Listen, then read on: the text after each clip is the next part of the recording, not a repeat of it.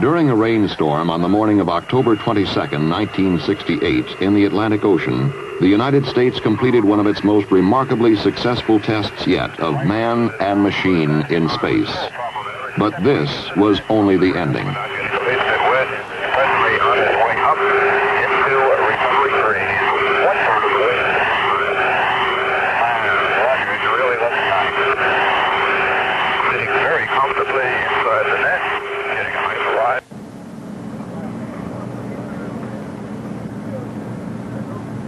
It was on a clear morning almost 11 days earlier at the Kennedy Space Center's Launch Pad 34 in Florida that we witnessed the beginning of the first manned mission in the United States Apollo program to land astronauts on the moon. The purpose of the flight of Apollo 7 could be stated very simply. Prove that the spacecraft command and service modules would function properly in space, long enough to carry men to the moon and back. Accomplishing this was considerably less simple. It meant showing that a brand new spacecraft, far more complicated than its predecessors, would operate so well it could be trusted to take men well beyond near Earth orbit. The astronauts were spacecraft commander Walter Schirra and pilots Don Eisele and Walter Cunningham. The Kennedy Space Center had spent long days in preparation and checkout, working toward a launch time which had been set for months. It was not by chance that Apollo 7 lifted off only two and three quarter minutes after the appointed moment. Five, four, ignition, GRR.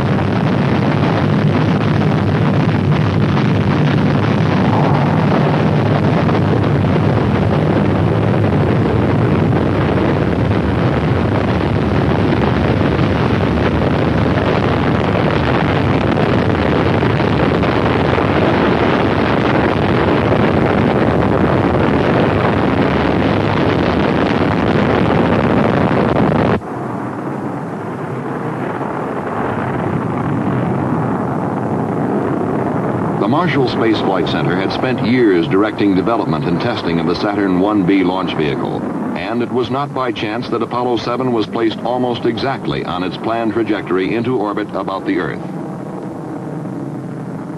Your Godspeed, Apollo 7. Thrust is okay. Roger thrust. Roll, roger, roll. Very early in the flight, the general pattern of go for Apollo 7 was established in a conversation between the spacecraft and mission control at the Manned Spacecraft Center in Houston, Texas. Right on the old button. Very good. Flight booster. Go. We appear we may be slightly marginal on locks. We'll keep Okay, stand by. Cut off. J2 cut off. Beautiful. Fido. Flight photo, we're go. Go All across the board. Just the readout, sir. TMC looks good, flight. 25553. H dot is minus four balls one. Across the board, Apollo Captain. 7, uh, we have you go for orbit. You're go for orbit. Apollo 7 was also go for an exhaustive series of tests of its worthiness in space. One of the first things which had to be learned was whether the astronauts could control the spacecraft combined with the S-4B Saturn stage. A very similar thing would have to be done during the early phases of a lunar mission. The answer was not long in coming. Signal this, please. Three, two, one, mark. S4B test complete. Beautiful. That was outstanding, Ah, real fine, outstanding. Next, the spacecraft and S-4B stage were separated. The question now was whether the astronauts could turn their spacecraft around and control it to the degree required for future physical link-ups with equipment in space. For this, too, would have to be done in the lunar flight. Thrusting. And again, the answer was yes. Was little flashes like Gemini? Something that will not be seen in the lunar flight or in any other forthcoming Apollo mission were the panels at the top of the S-4B stage. They will simply be jettisoned in the future, but they drew comment in Apollo 7. And the slot panel at the top, left, and bottom are opened uh, at I would just to be about a 45 degree angle, and the slot panel on the right is just opened, oh, maybe uh, 30 degrees at the very best. Uh, roger. Looks like you're looking at a four-jawed angry alligator. Apollo 7 escorted its spent S-4B stage through space for perhaps 30 minutes, then departed. That's a bigger one, Tom. Rated now. Yes. Main yeah. It's absolutely beautiful here. The following day, Apollo 7 burned its spacecraft propulsion system for the first two times in the mission and returned to its four-jawed alligator, which was now angrier than ever. And Apollo 7 Houston, uh, how close are you now? We're close to about, uh, oh, about 70 feet. It's tumbling rather wildly, so we're trying to stay away from it. Uh, Roger, understand. Ready to copy, Jet, go.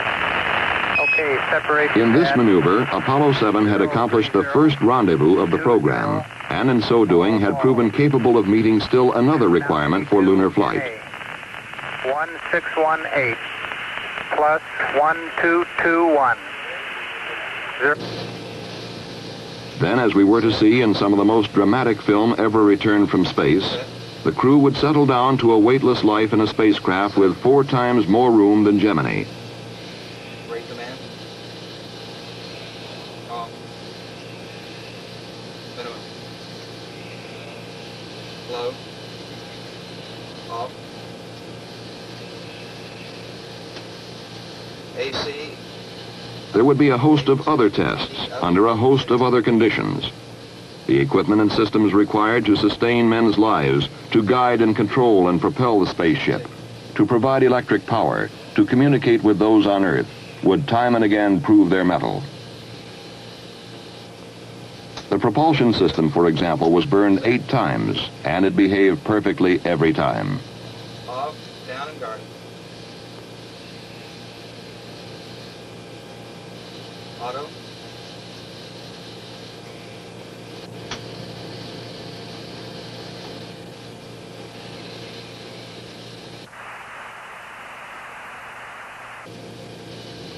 The crew worked with a telescope and a sextant, taking landmark and star sightings for navigation, as will be required for lunar flight.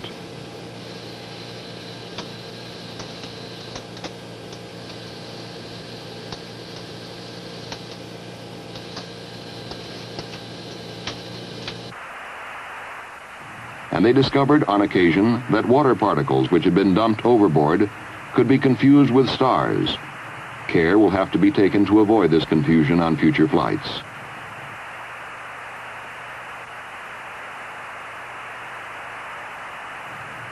All in all, though, problems were minor and generally were readily overcome or solved. The spacecraft almost seemed to grow stronger as the days went by.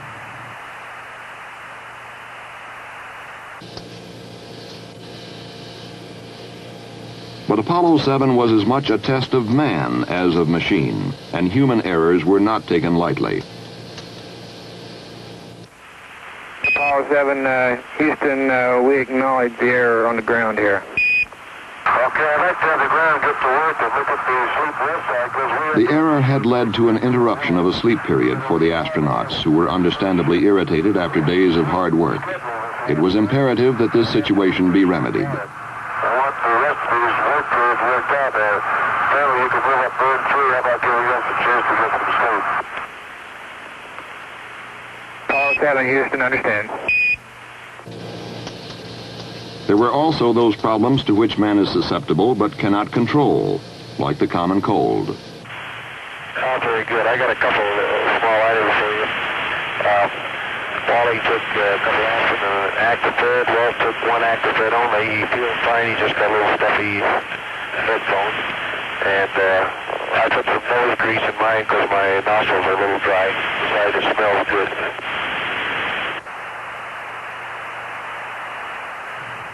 As the cold spread to all three astronauts, doctors feared that there might be discomfort, even pain, with eardrums as pressure increased during re-entry. The astronauts were able to cope with the problem, however, by taking decongestants and holding their noses and blowing to equalize re-entry pressures.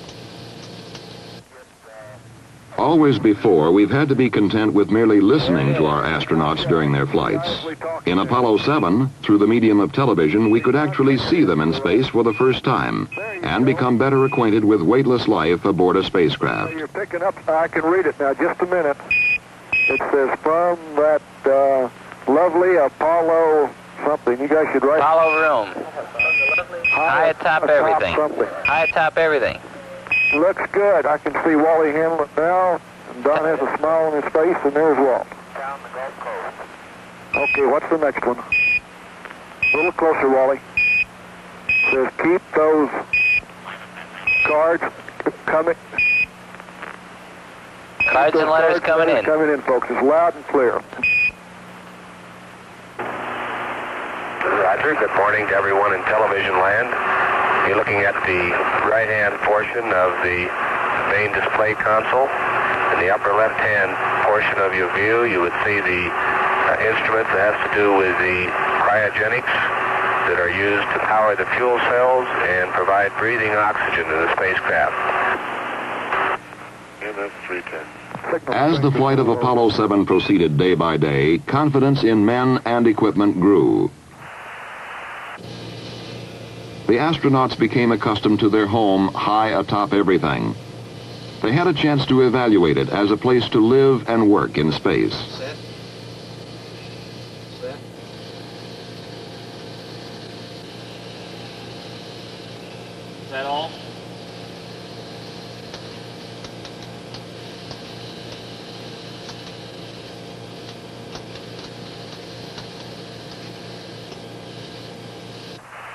There was a chance to photograph Hurricane Gladys, which raked across Florida and headed out into the Atlantic.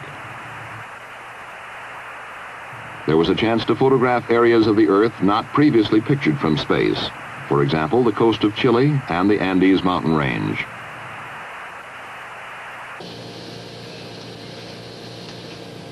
The crew could evaluate such things as the importance of exercising,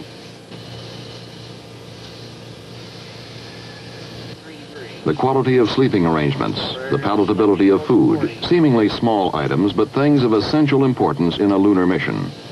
They even recorded the preparation of a drink for a meal.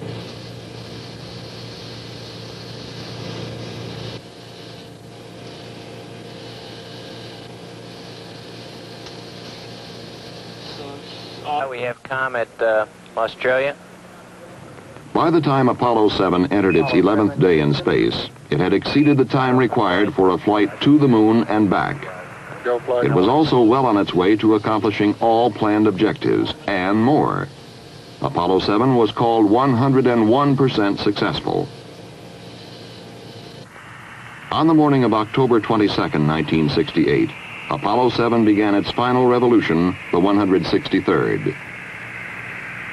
At approximately 259 hours and 39 minutes after liftoff, the spacecraft propulsion system was burned for the final time, and Apollo 7 headed home to Earth.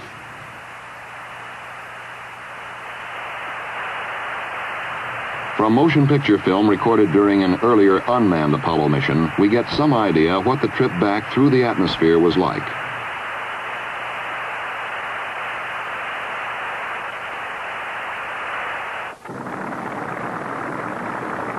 In less than an hour after touchdown in the Atlantic Ocean, the flight crew emerged from helicopters which had brought them to the recovery ship, the carrier USS Essex.